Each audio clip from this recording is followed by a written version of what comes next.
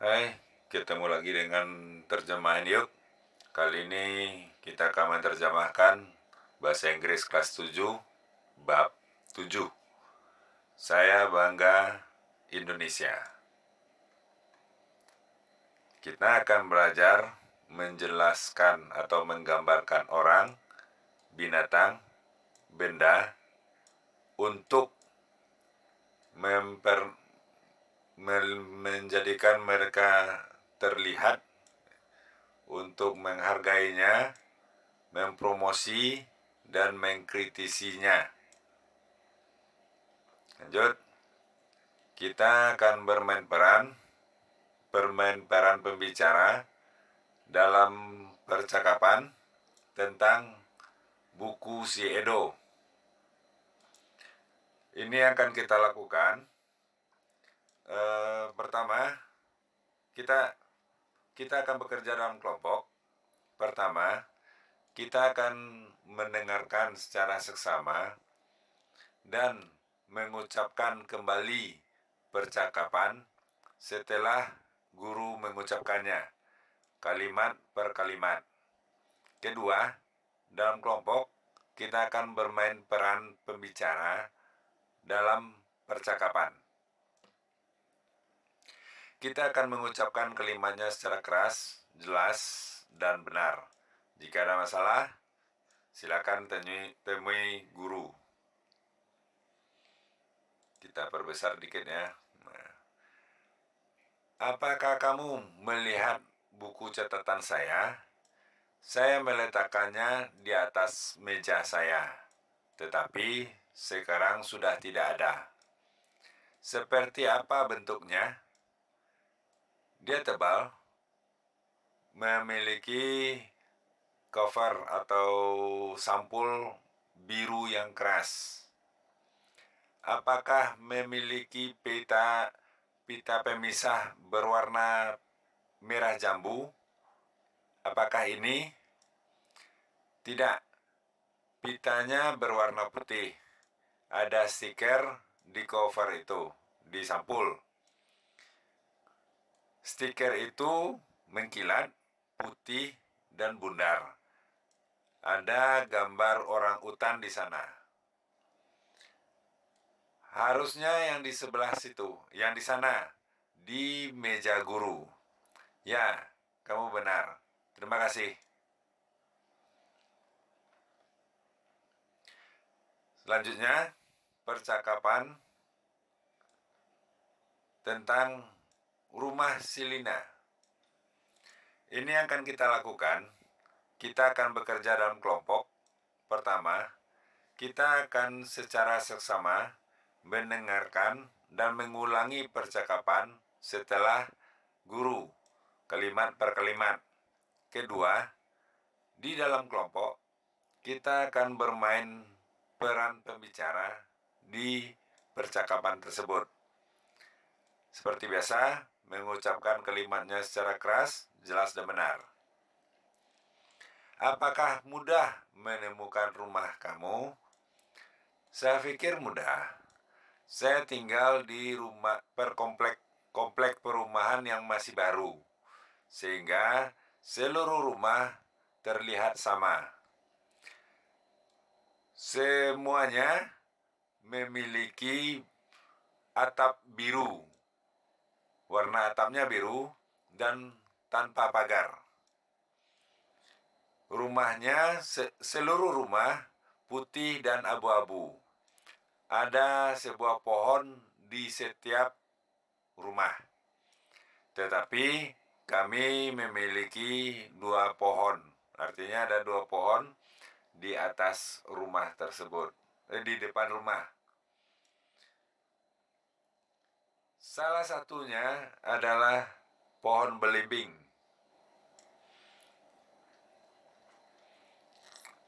Uh, apakah dekat uh, jembatan kecil di Jalan Teratai? Ya, rumah saya ada kerajinan tangan dari tanah Ro tanah Toraja menggantung di depan pintu.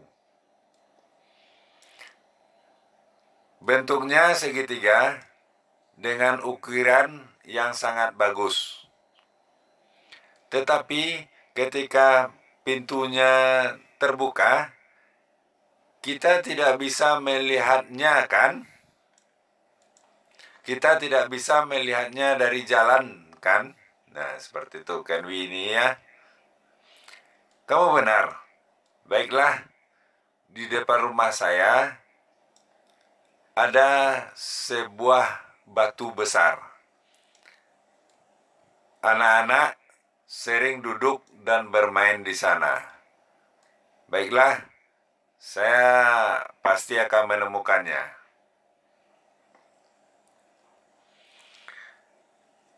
Yang ketiga, kita akan bermain pembicara eh, pembicara tentang sepasang sepatu.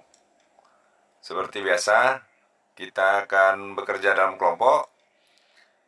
Kemudian kita akan mendengarkan secara seksama dan mengulangi percakapan setelah diucapkan oleh guru. Kalimat per kalimat. Kedua, di dalam kelompok kita akan bermain peran pembicara di percakapan. Kita akan mengucapkannya mengucapkan kalimatnya keras, jelas dan benar.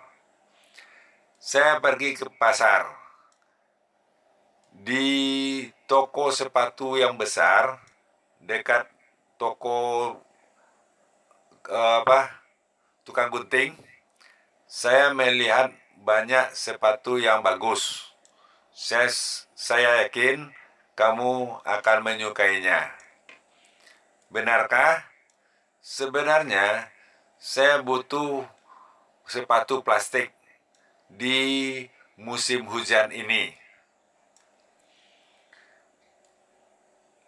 Di sana juga ada sepatu plastik yang bagus. Warnanya berbeda-beda. Beberapa ada apa? Ada lubang dan beberapa ada gambar bunga di depannya. Dan sebagian lagi eh, polos tanpa ada apa pun di sana di sepatu di sepatu tersebut. Saya butuh sepatu dengan uh, tali pengikat dan di depannya terbuka seperti sandal. Selalu di depan itu selalu panas dan uh, jari kaki saya butuh udara untuk bernapas. Saya benar. Saya setuju. Saya melihat banyak sandal dengan uh, tali pengikat. Maaf, saya juga melihat banyak sandal dengan tali pengikat. Tumitnya uh, rendah dan terlihat sangat nyaman ketika digunakan. Bagus, saya akan ke sana besok. Terima kasih. Lanjut, nah, kita akan bermain pembicara tentang t-shirt. Ini kalau di kita kaos oblong, ya, kaos tanpa ada kerah bajunya tanpa kerah. Seperti tadi, kita akan bekerja dalam kelompok, mendengarkan secara seksama, dan mengulangi percakapan setelah guru, kalimat per kalimat. Kedua, di dalam kelompok, kita akan bermain eh, pembicara dalam percakapan tersebut. Nah, kita akan mengucapkan kalimatnya secara keras, jelas, dan benar. Saya akan ke Bali besok. Cendera mata apa yang kamu inginkan? Nah, wah, terima kasih. Kamu sangat perhatian. Bagaimana jika kamu belikan untuk saya sebuah t-shirt atau kaos oblong? Bentuk apa t-shirtnya? Kaos oblongnya ya. Saya ingin te, uh, kaos oblong berwarna putih dengan lengan pendek. Saya suka uh, kaos oblong yang sporty dan kasual. Baiklah. Apakah yang polos? Tidak, jangan yang polos. Saya ingin ada sebuah gambar kecil saja di depan. Gambarnya bisa gambar tentang Bali. Baiklah. Nah. Nah, ini mengoleksi informasi ya. Kita akan menyelesaikan atau menyele, uh, me, men, menyelesaikan ya deskripsi tentang buku catatan si Edo sil, uh, rumah Silina dan sepatu di toko sepatu yang besar dan kaos oblong Tuan Gani inginkan dari Mr. Hidayat untuk dibelikan. Ini akan kita lakukan bekerja dalam kelompok. Pertama, kita akan mempelajari contoh secara seksama Artinya contohnya yang pertama ini ya, yang si Edo. Kita akan menyalin dan mencatat di buku catatan kita. Kedua, kita akan mendiskusikan untuk mengisi bagian yang kosong dengan kata-kata yang benar dari percakapan di atas. Ketiga, masing-masing kita akan menuliskan deskripsi yang lengkap dalam uh, di kertas selembar. Terakhir, di dalam kelompok kita akan mengucapkan seluruh deskripsi ke masing-masing teman secara oral. Ya, silakan pergunakan kamus mengucapkan kata dan menggunakan tanda baca secara benar, kita juga akan mengucapkan kalimat-kalimatnya secara keras, jelas dan benar. Jika ada masalah, silakan tanya ke guru. Nah, untuk memudahkan, saya sudah buat dua window ya. Nah, seperti itu. Mungkin ini 150 persen. Nah, sama ya sama. Jadi untuk memudahkan kita lihat yang Edo. Saya gandeng. Nah, ini. Ini mulai Edo menggambarkan bagaimana bentuk bukunya. Tebal. Ya, ini dia. Blue hardcover. Nah, di sini dia. memiliki pita pemisah berwarna putih. Nah, ini. Jadi kamu harus pandai-pandai menggabungkan dari dua kalimat. White ribbon separator. Jadi yang di sini kan dikatakan cuma white saja. Tetapi uh, ada ribbon separator stiker nah, ada stiker ini dia shiny white and round with nah, ada gambar orang hutan nah itu dia yang contoh contohnya ya nah kita mulai dalam percakapan tentang rumah si Lina. Ini gambarannya disampaikan oleh Lina. Kita perkecil dikit lagi biar tidak uh, terpotong. Nah, di mana rumah si Lina? Nah ini, a new housing complex. Roof, uh, mana blue? Ah, the roof is blue. Jadi di sini is ya. It has no, nah ini dia, fence. Tidak ada pagar.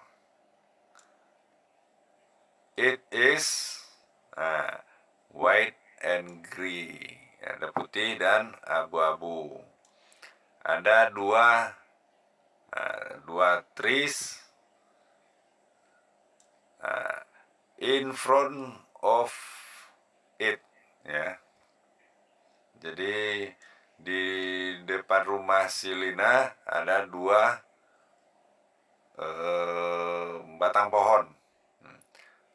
One of them, nah ini one of them is, nah ini dia, star fruit tree.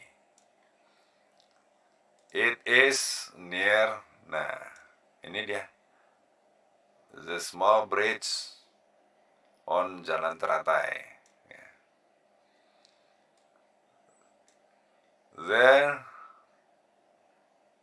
has a handicraft nah, ya? Hanging on the front of the door. Nah, ini di sini jawabannya ya. It is nah, a triangle with nah ini jawabannya. Beautiful carving. Uh, there is a big stone. Nah, ini dia. There is a big stone. Nah, in front of Lina's house. Ya. In front of jawabannya. Some children often sit and play. Jadi di sini sit, di sini play. Oke. Yang ketiga tentang sepatu. Nah, ini apa? Toko sepatunya. Nah, ini ya. Barber shop. Sell different model of uh, mana dia? Of beautiful. Uh, beautiful shoes.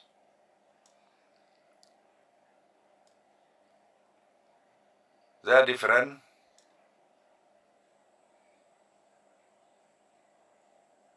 They different? Uh, mana dia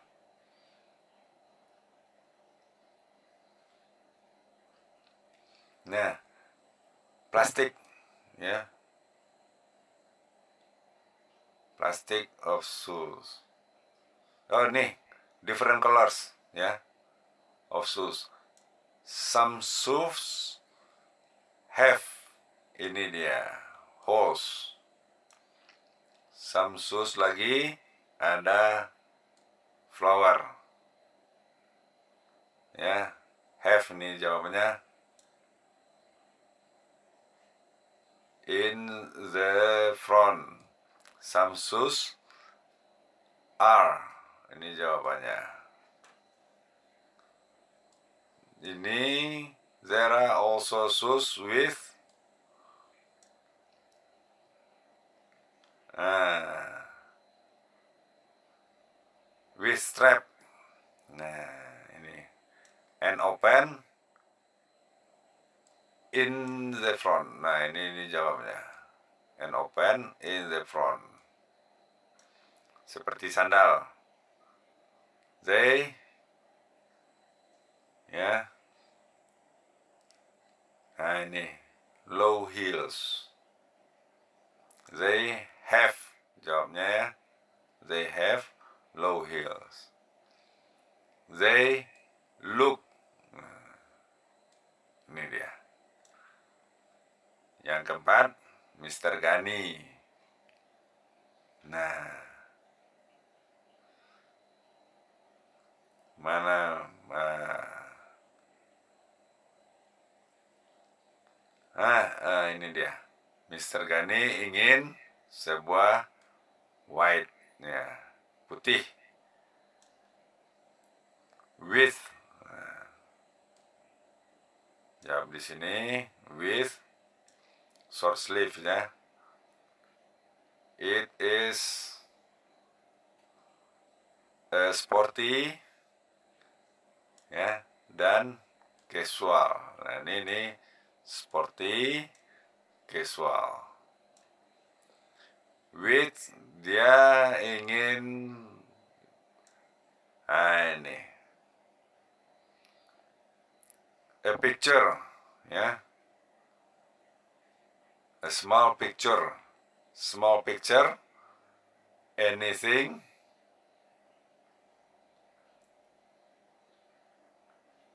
about Bali ya small picture anything about Bali in the front. Ya, itu dia. Jadi ini jawabannya in the front. Ya, jadi di depannya eh, gambar kecil tentang Bali. Ya, kecil saja yang diminta. Nah, barangkali sekian dulu. Sampai di sini dulu ya. Mudah-mudahan bermanfaat. Sampai ketemu dan jangan lupa subscribe untuk pelajaran atau halaman-halaman buku ini di halaman berikutnya. Sampai jumpa.